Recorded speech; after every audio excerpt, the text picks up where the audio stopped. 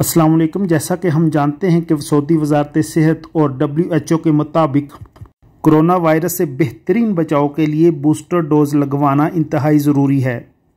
और normal persons, यानी कि आम अफराद के लिए कोरोना वैक्सीन की दूसरी खुराक लगाए जाने के छः माह बाद बूस्टर डोज लगाना ज़रूरी करार दिया गया है।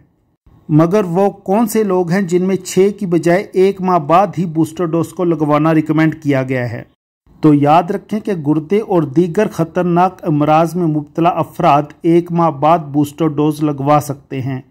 जैसे अगर किसी का ऑर्गन ट्रांसप्लांट हुआ है या कोई डायलिसिस का पेशेंट है तो उसे चाहिए कि वो कोरोना से महफूज रहने के लिए वैक्सीन की दूसरी खुराक लगवाने के एक माह बाद ही बूस्टर डोज लगवा लें। और अब आपको इस सवाल का जवाब भी देते चलें कि कोरोना वैक्सीन की बूस्टर डोज लगवाना क्यों ज़रूरी है।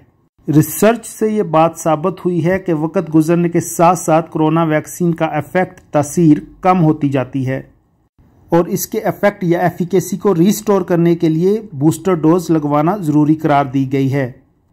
इन्फॉर्मेशन पसंद आई है तो वीडियो को लाइक करने के बाद दूसरों से शेयर भी कीजिएगा।